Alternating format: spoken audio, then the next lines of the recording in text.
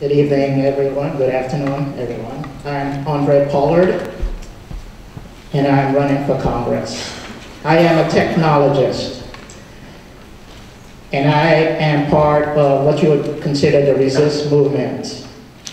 I'm, I'm one of the people that, you know, was watching TV, and I couldn't watch anymore, and I had to get up off the couch.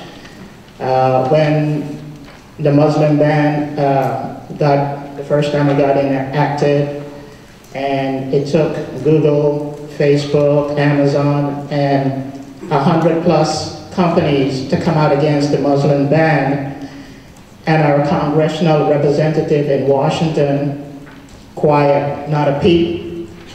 I knew that we, the technologists, do not have the proper representation in Congress. And that's why I have been very blessed in my life, decided to get up and do something about it.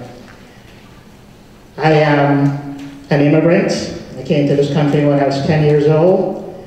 I married to a Latino, so half my household is, is Spanish speaking.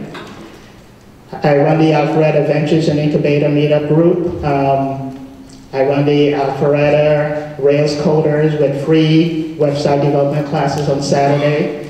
You'll be surprised at all the people that show up at that, old, young, everyone. I started the Alpharetta Ionic, Ionic 2 mobile development. Again, I'm pushing technology and I have a lot of technology solutions. I've been doing this for over four years, so when you hear candidates talking about uh, Silicon Valley of the South, I've already been doing that for four years. I'm a father of four, uh, two teenagers, a four-year-old and a one-year-old, and basically I am you. I am representing all of you. Thank you.